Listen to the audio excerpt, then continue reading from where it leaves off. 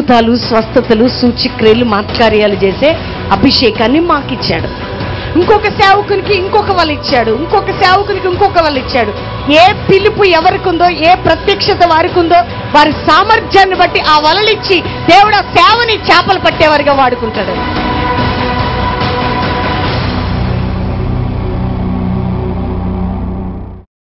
లూకస్సు వార్త ఐదో అధ్యాయం ఏడో వచనం నుంచి పదో వచ్చిన వరకు దయచేసి చదివి వినిపించాల్సిందిగా మనం చేస్తున్నాం. వారు వేరొక దోణిలోనున్న తమ పాలివారు వచ్చి తమకు సహాయము చేయవలనని వారికి సంజ్ఞలు చేసిరి. వారు వచ్చి రెండు దోణెలు మునుగునట్లు నింపిరి. సీమోను పేతురు అది చూచి యేసు మోకాళ్ళ ఎదుట సాగిలపడి ప్రభువా నన్ను విడిచిపోము నేను పాపాత్ముడనని చెప్పెను. ఏలయనగా వారు పట్టిన చేపల రాశికి అతడును అతనితో కూడానున్న వారు అందరూ విస్మయమొందిరి. అలాగున సీమోనుతో కూడా పాలివారైన జబదేయి కుమారులకు యాకోబును యోహానును విస్మయమందిరి.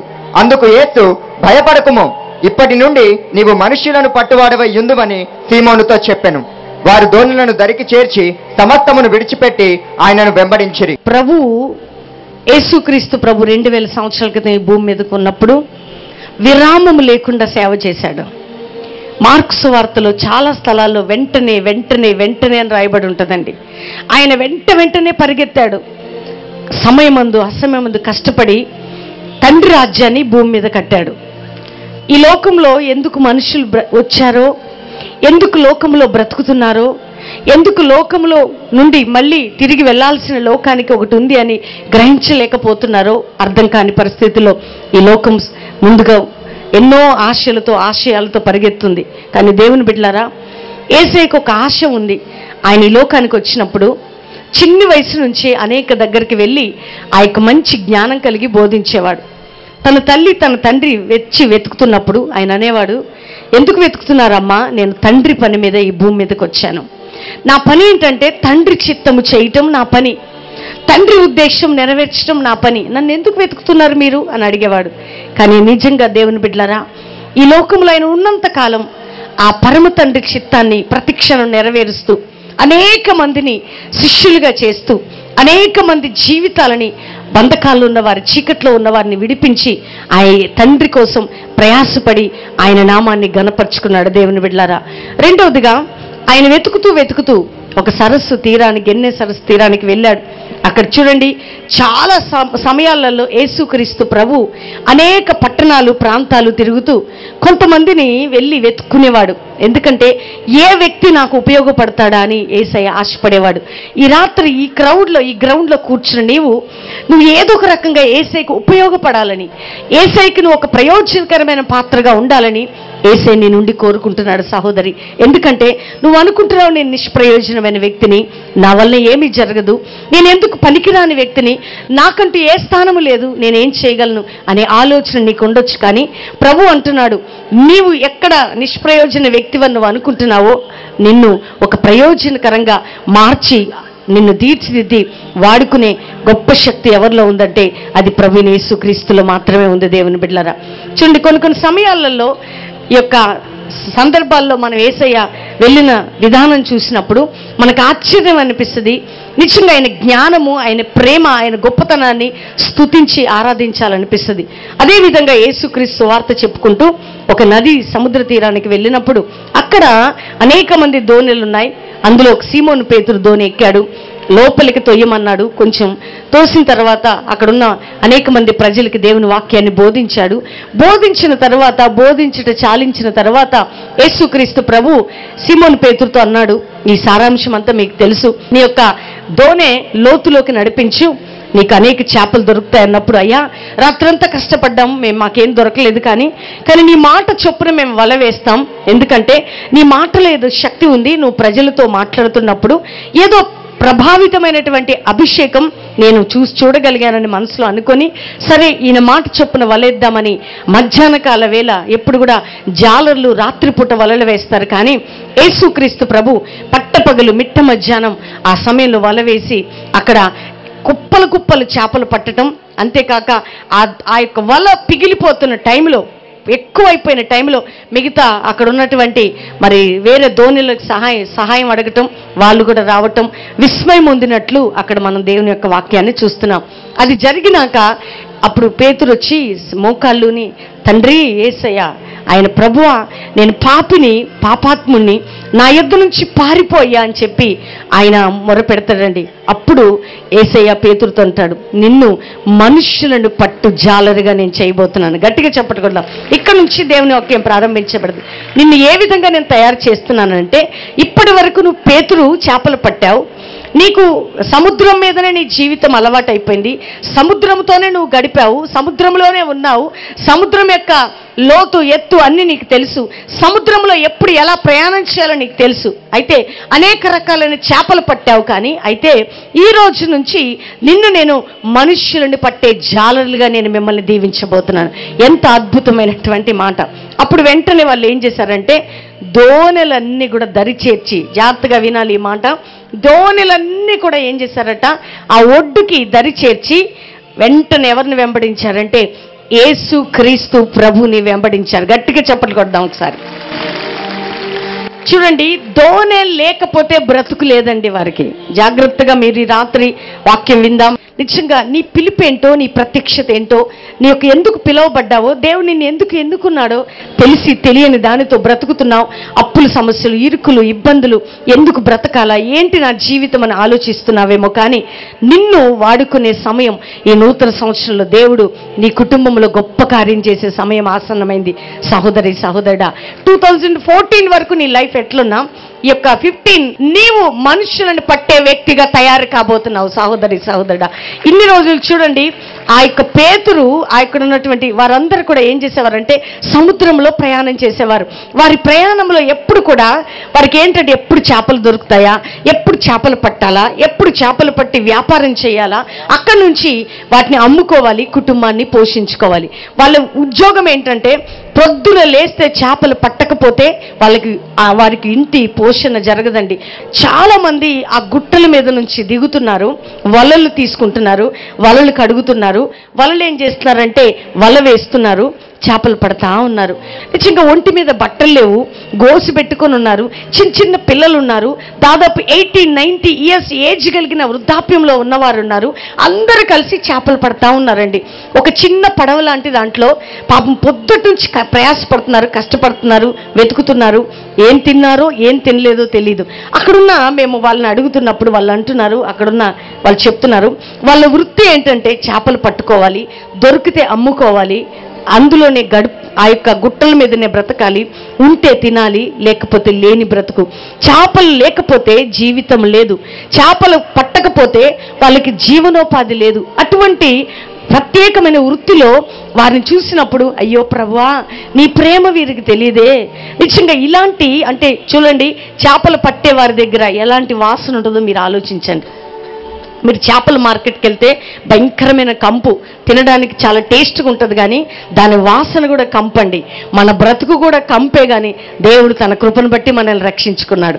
ఆ యొక్క చేపలు పట్టేవారి దగ్గరికి వెళ్తే వాళ్ళు ఎప్పుడు కూడా సముద్రం మీద ఉంటారు కాబట్టి ఉప్పు వాసన శరీరం అంతా మురికి వాసన ఒకలాంటి స్మెల్ రెండవదిగా వాళ్ళు చాలా పేదరికము అవి కష్టపడి పని చేయాలా వాటిని పట్టుకోవాలి అమ్ముకోవాలి ఇంటికి తీసుకెళ్ళి పోషించుకోవాలి. దానివల్ల మేడల మిద్దెలు కట్టుకుంటారంటే లేదండి ఏ నాటిది ఆ రోజుకి సరిపోయేటువంటి సరిపడే జీవితం. పోనీ విద్య ఉందా అంటే విద్య లేదండి వీళ్ళకి. విద్య లేని పామర్లు. వీళ్ళ వృత్తి చేపలు పట్టే వృత్తి.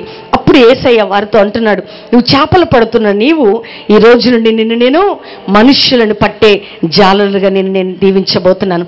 నిన్ను మనుష్యులను పట్టే వ్యక్తిగా చేయబోతున్నాను. ఉప్పు కంపు కొడుతున్న వ్యక్తి ఉప్పుతో ఉన్న వ్యక్తి ఎటువంటి రూపు లేని వ్యక్తి ఎటువంటి స్టాండర్డ్ లేని వ్యక్తి చదువు లేని వ్యక్తి జ్ఞానం లేని వ్యక్తి అసలు అర్హత లేని వ్యక్తి ఒకవేళ చేపలు పట్టే జ్ఞానం ఉండొచ్చు కానీ మనుష్యుని పట్టే జ్ఞానము ఆ వ్యక్తికి లేదండి. కానీ జ్ఞానహీనులని జ్ఞానవంతులుగా చేసేవాడే ప్రభునేసు క్రీస్తు అందుకని అర్హత లేని వారిని అర్హులుగా చేసేది ఏంటంటే ఆయన కృప. కృప ఏం చేస్తుంటే పేతురికి అర్హత లేదు. అక్కడున్న సముద్రం మీద ఉన్న ఆ యొక్క చేపలు పడుతున్న వారికి అర్హత లేదు. కానీ అర్హత లేని వారిని ఒక విద్య లేని పామరులైన వారిని ఒక బలంగా ఈ భూలోకాన్ని తల్లకిందులు చేసే అపోస్తుల యొక్క అపోస్తుల కాలంలో ఉపయోగించిన సాధనాలుగా దేవుడు వారిని వాడుకున్నాడు. అంటే ఏమి వారు విడిచిపెట్టుకున్నారు? ఒక్కసారి మీరు ఆలోచించండి. దోణులన్నీ దరి చేర్చారట అందరు చెప్పండి.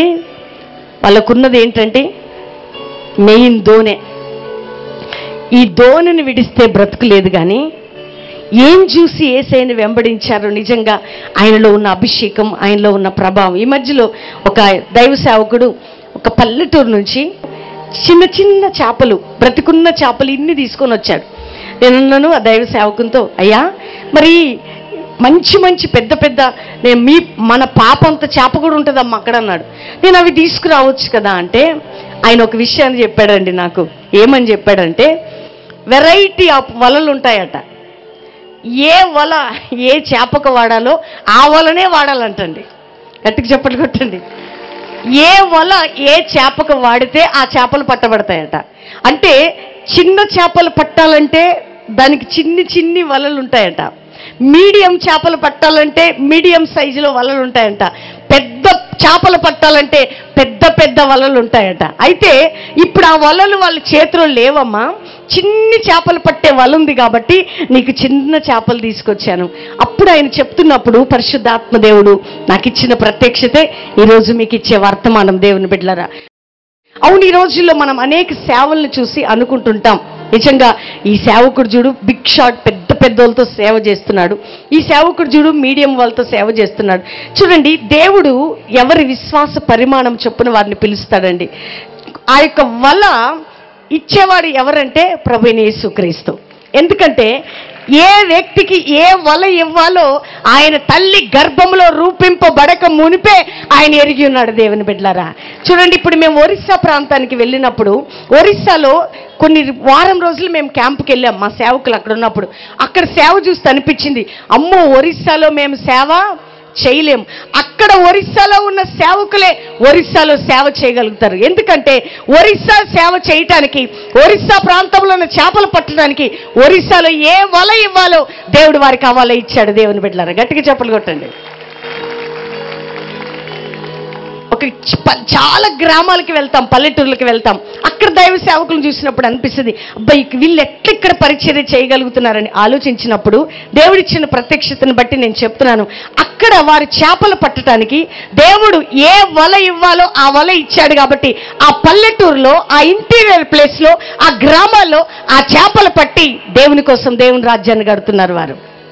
వీళ్ళు వలలు గడుగుతుంటారు పేతురు యోహాను వీరంతా వలలు గడుగుతున్నప్పుడు యేసుప్రభు వెళ్తాడు. వలలు ఎందుకు గడుగుతారంటేనండి అది ఎండిపోతే వల ఎండిపోయి ఉంటే నీసు వాసన కొట్టినా ఎండిపోతే వలలు పిగిలిపోతాయట. అంటే ఇరిగిపోతాయట. అది మొత్తం పొడి బారిపోయి. అందుకని వాళ్ళు ఎప్పుడు కూడా వల శుభ్రంగా కడిగి ఉప్పు లేకుండా మన సముద్రంలో వలేసినప్పుడు ఏమొస్తుందంటే ఆ యొక్క వలలోకి ఏమొస్తుందండి? ఉప్పు వచ్చేస్తుంది. అందుకని వాళ్ళు వలలు కడిగి శుభ్రం చేసి మళ్ళీ వేయటానికి ప్రయత్నం చేస్తుంటారు. కాబట్టి చేపలు పట్టేవారికి తెలుసండి వల ఎప్పుడు కడగాలో. ఏ చేప మీద ఏ వల వేయాలో ఆ ఇచ్చే దేవుని దేవాతి దేవునికి తెలుసు పట్టే దైవ సేవకునికి తెలుసు. నీకేం వల్ల ఇచ్చాడో ఒకసారి నువ్వు చెక్ చేసుకోవాలి. ఇప్పుడు దైవ సేవకునికి ఒక వల్ల ఇచ్చాడు. ఆయన ఏంటంటే దేవుని వాక్యం చెప్తూ అద్భుతాలు స్వస్థతలు సూచిక్రియలు మాత్కార్యాలు చేసే అభిషేకాన్ని మాకిచ్చాడు. ఇంకొక సేవకునికి ఇంకొక వాళ్ళు ఇచ్చాడు. ఇంకొక సేవకునికి ఇంకొక వాళ్ళు ఇచ్చాడు. ఇచ్చేది ఆయన ఏ పిలుపు ఎవరికి ఉందో ఏ ప్రత్యక్షత వారికి ఉందో వారి సామర్థ్యాన్ని బట్టి ఆ వలలిచ్చి దేవుడు ఆ సేవని చేపలు పట్టేవారిగా వాడుకుంటాడండి. చాలా మందికి తెలియదు గ్రహింపు లేదు కొన్నిసార్లు అపార్థం చేసుకుంటారు. చూడండి కొంతమంది బోధిస్తే చేపలు ఉట్టికి పడిపోతాయండి అట్లా. కదా? కొంతమంది ఇట్లా మాట్లాడితేనే బా ఇంత పెద్ద చేప ఎట్లా పడ్డదండి అని అనుకుంటారు. కదా? ఒక అబ్బాయి నా దగ్గరికి వచ్చి ప్రార్థన చేయించుకోవటానికి వచ్చాడు. ఎందుకు అంతలా ఉండే వ్యక్తి ఇంత సన్నగైపోయావని నేను అడిగితే ఈ మధ్యలో ఒక అమ్మాయి వలలో పడ్డానమ్మా అన్నాడు. ఏమన్నాడు? ఒక అమ్మాయి వలలో పడేటప్పటికన్నా మన శరీరం ఏమైపోయిందండి? సన్నగా అయిపోయింది కానీ నువ్వు ఏసయ్య వలలో పడితే ఎలా ఉంటుందో తెలుసా నీ జీవితం? అద్భుతమైన వరంగా మారిపోతుంది దేవుని బిడ్డలారా అందుకనే పేతురు వలలు వేయటం తెలుసు కానీ ఏసయ్య పేతురు మీద వలేసాడండి కదా? పేతురేమో చేపలకు వలేస్తే ఏసయ్య డైరెక్ట్గా పేతురు మీద వేస్తే పేతురు అంటున్నాడు క్షణాల్లో నిర్ణయం మార్చుకొని నిన్ను వెంబడిస్తానయ్యా అంటున్నాడు. నీ వైపు నడుస్తానయ్యా. ఎందుకంటే ఆ దోనె వద్దు నాకు నా వ్యాపారం వద్దు నాకు నా బిజినెస్ వద్దు నాకు చేపలు పట్టడం నాకు వద్దు నువ్వే నాకు కావాలా? చూడండి విద్య లేని పామరులైన పేతుర్ని యోహాన్ని ఆ యాకోబుని భూలోకాన్ని తల్లకిందులుగా చేసి గుడ్డివారిని కుంటివారిని మూగవారిని అంగహీనుని డెడ్ బాడీస్ లేపే వల ఇచ్చింది ఎవరంటే ప్రభైన యేసుక్రీస్తు. అర్థమవుతుందండి? అపోస్తున్న పౌలు వలేసేవాడు. పెద్ద పెద్ద అగ్రిప్ప రాజు దగ్గరికి వెళ్ళి క్షణాల్లో ఆయనతో మాట్లాడుతున్నాడండి. ఆయనకి ఇచ్చిన వల ఏంటంటే బిగ్ షాట్స్ సైతం ఇట్లా లోలలోకి తీసుకోగలిగే ఆ వల అపోస్తున్న పౌలకి ఇచ్చాడు పేతురికి ఇచ్చింది పౌలకి ఇవ్వలేదు పౌలకి ఇచ్చింది పేతురికి ఇవ్వలేదు. నీకు ఇచ్చింది నాకు ఇవ్వలేదు నాకు ఇచ్చింది నీకు ఇవ్వలేదు మనిద్దరం కొట్లాడుకుంటే అపవాది విజృంభిస్తాడు జాగ్రత్త. ఈ రాత్రి పోరాడవలసిన వాడితో పోరాడకుండా నేనే కరెక్ట్ సేవకుణ్ణి నేనే ఖచ్చితమైన బోధకుణ్ణి నేనే ఖచ్చితమైన సేవకురాల్ని అని అంటే అది దేవుని దృష్టిలో చాలా చీప్ అయిపోతాం మనం. అభిషేకం ఇచ్చేవాడు ఆయన స్వస్థత అనే వరముతో వలనిచ్చేవాడు ఆయన. గుడ్డివాడు మూగవాడు అంగహీనుడు త్రాగుడికి అడిక్ట్ అయినవాడు పాపానికి బానిసైనవాడు వ్యభిచారానికి బానిసైనవాడు ఒక పాప బ్రతుకులో నుంచి ఒక ఆ అడిక్ట్ అయిన వ్యక్తిని తిప్పటానికి ఆ దైవ సేవకునికి ఎవరిచ్చారా ఆ వల అంటే అది ప్రభుని యేసుక్రీస్తు ఇచ్చిందే. చూడండి పేతురు యోహాను ఇద్దరు కూడా శృంగారం అనే దేవాలయం మెట్లెక్కుతుంటారు. అప్పుడు పుట్టినది మొదలుకొని ఒక కుంటివాడు అక్కడ కూర్చుంటాడు. అప్పుడు పేతురు యోహన్ అంటాడు మా దగ్గర వెండి బంగారం లేదు. మా దగ్గర ఉన్న వల ఏంటో తెలుసా? నజరేడని ఏసు నామములో లేచి నడవమంటే ఆ కుంటోడు పరిగెత్తుకుంటూ దేవాలయంలోకి వెళ్తాడండి. ఆ కుంటివాని స్వస్థత ద్వారా రక్షణ జరిగింది. ఆ వల ఎవరికి ఇచ్చాడంటే పేతురు యోహానికి దేవుడు ఇచ్చాడు. అందుకనే నీకు బోధించే అధికారం ఇచ్చాడేమో ఆ వల.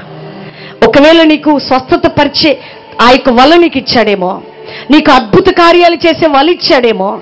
కానీ ఈ యొక్క వలలు తీసుకున్న వారే ఈ రోజులు ఏమైపోతున్నారండి? నేను గొప్ప నేను గొప్ప. యేసుక్రీస్తు శిష్యులు కూడా ఒకరోజు నడుస్తున్నారట ఏసే కంటే ముందు. వీళ్ళు కొట్లాడుకుంటున్నారట. అరే మనలో ఎవరు గొప్పడో చెప్పు అని అన్నాడట. అంటే ఇంకొకటి అన్నట నేను గొప్ప నువ్వు గొప్ప. ఇదంతా విని ఏసై అన్నాడట. ఒక దగ్గరికి వెళ్ళి కూర్చున్నాక ఇందాక మీ ఇద్దరు మీరు ఏమో అనుకుంటున్నారు నాకు చెప్పండి అంటే అప్పుడు వాళ్ళు అన్నారు మౌనం అయిపోయారంట విన్నాడు కదా ఏసయ్య అని. అప్పుడు ఏసయ్య అన్నాడంట మీలో ఎవడైనా గొప్పవాడై ఉండగొరినేడలా వాడందరికీ కూడా దాసుడై ఉండాలా? మీలో ఎవడైనా ప్రముఖుడై ఉండగొరినేడలా వాడందరికి కూడా పరిచారకుడై ఉండాలా? దైవ సేవకునికి వల ఇచ్చేది ఎవరు అంటే దేవుడండి. నువ్వు ఏ వలను విమర్శిస్తున్నావో తెలుసా బ్రదర్? సహోదరి సహోదరుడా ఏసయ్య ఏ వ్యక్తి ద్వారా ఏ చేప పట్టిద్దా అని వెతుకుతాడు ఆయన? ఇప్పుడు చూడండి ఒక కుంటివాన్ దగ్గరికి వెళ్ళి ఒక అనారోగ్యం కలిగిన వ్యక్తి దగ్గరికి వెళ్ళి ఈ దైవ సేవకుడు స్వస్థతని వల్లేసినప్పుడు ఆ వ్యక్తి స్వస్థత పొంది ఏసుని రక్షకునిగా తెలుసుకుంటున్నాడు. ఇది ఒక వల. అంటే ఇది చేపలు పట్టే విధానంలో ఒక పద్ధతి. నీవెట్లా చేపలు పడుతున్నావంటే వాక్యం చెప్తూ దేవుని వాక్యాన్ని బోధిస్తూ నీకిచ్చిన పద్ధతిలో నీకిచ్చిన వలలో నువ్వు చేపలు పడుతున్నావు. మరొక సేవకుడు ఆయనకిచ్చిన వలలో పడుతున్నావు. ఆయనకిచ్చిన పద్ధతిలో వలేస్తూ చేపలు పడుతున్నాడు. కానీ ఎవరిది వారు ప్రత్యక్షత పిలుపు తెలుసుకుంటే మనం గొప్పగా దేవుని రాజ్యాన్ని కట్టగలుగుతాం దేవుని బిడ్డలారా. చూడండి దేవుని బిడ్డలారా జీవితంలో మనం తెలుసుకోవాల్సిన సత్యం ఏంటంటే ఏసయ్య మనల్ని ఎందుకు ఎన్నుకున్నాడో? దేవుడు మనకి ఏమిచ్చాడు అసలు ఎందుకు మనల్ని పిలుచుకున్నాడు? నేను మీకు ఇచ్చిన ఈ వల ఈ అభిషేకం ఎందుకో తెలుసా? ఇందాక మీరు అనేక సాక్ష్యాలు విన్నారు. అనేక మంది బా బాధల్లో ఉన్నవారు కృంగిపోయిన వారు నలిగిపోయిన వారు వ్యాధులతో మూలుగుతున్నవారు రోగాలతో ఉన్నవారు సమస్యలు ఉన్నవారు ఎప్పుడైతే నా అభిషేకం అని వల మీరు వేస్తారో నేను వారిని విడిపించి నా రాజ్యాన్ని కట్టుకోబోతున్నాను అన్నాడు. అందుకనే దేవుని బిడ్డలారా బెల్లంపల్లి పట్టణం నుంచి ఏదో పెద్ద కల్వరి ప్రత్యక్షత పెట్టుకొని మేమేదో సిటీకి గొప్ప సేవకులం అయిపోవాలని రాలేదండి. మాకిచ్చిన వలను తీసుకొని ఎక్కడికి వెళ్ళమంటే అక్కడికి వస్తున్నాం. అది దేవుడు మాకిచ్చిన వల. ఏ వల? చెప్పండి మీరందరూ దేంట్లో పడ్డారు ఇప్పుడు? మేము వేసిన వలలో పడ్డారు. మేము వేసిన వల ఏంటి? పాస్టర్ ప్రవీణ్ గారిదా నాదే అది? ఏసై ఇచ్చిన వల. ఇంతొక ఆయన ఏడ్చుకుంటూ చెప్పాడు నాకు మంచి నాయకుడు కావాలి అని నేను ఏడిస్తే నేను కష్టంలో ఉన్నప్పుడు ఇక్కడికి రాగానే ఆ మాటలు నన్ను ఆదరిస్తాయి నన్ను బలపరుస్తాయి నన్ను ఓదారుస్తాయి. ఎందుకో చనిపోవాలని వచ్చినప్పుడల్లా ఆ మాటలు నన్ను చావు నుండి తప్పిస్తున్నాయి. ఇది దేవుడిచ్చిన వాళ్ళ దేవుని బిడ్డలరా. ఆ యొక్క చేపలు పట్టడంలో కూడా ఇన్ని రకాల వలలు ఉంటాయి. చూడండి కొంతమంది బిగ్ బిగ్ షార్ట్స్కి మంచి మెసేజ్ ఇస్తుంటారు వాక్యం చెప్తుంటారు వాళ్ళ దగ్గరికి వెళ్ళి సువార్త చెప్తుంటారు. అది దేవుడు వారికి ఇచ్చిన వల. అక్కడి నుంచి నువ్వు కిందకి చూడకు నువ్వు చీప్ అయిపోతావు నువ్వు అక్కడి నుంచి ఇంకా పైకే చూడు ఇంకా పైకి వెళ్ళిపోతావు. ప్రతి పరిచయని దేవుడు గౌరవించమని చెప్తున్నాడు? ప్రతి సేవని దేవుడు ఎన్నుకున్నాడు? ప్రతి మనిషిని జీవితాన్ని వల ఇచ్చి వాడుకునేది ఎవరంటే ప్రభునేసుక్రీస్తు కాబట్టి ఈ రాత్రి మీకు నేను ఎందుకు ఈ మాటలు చెప్తున్నానంటే కొన్నిసార్లు ప్రత్యక్షత తెలియక పిలుపు తెలియక కొంతమంది టెన్షన్లో కన్ఫ్యూషన్లో డిస్టర్బ్ అయిపోయి అసలు ఏంటో తెలియని వారు ఎంతోమంది ఈ లోకంలో ఎటు వెళ్తున్నారో తెలియని స్థితిలో ఉన్నారండి. ఈ రాత్రి ఒకసారి కుడిచే పైకెత్తుతారా కళ్ళు మూసుకుంటారా? మీ హృదయాన్ని ఏసే కప్పు చెప్తారా అలసిపోయి ఉన్నావా? లలిగిపోయి ఉన్నావా? ఈ రాత్రి ఇక్కడ ఏసే దగ్గరికి వచ్చావు.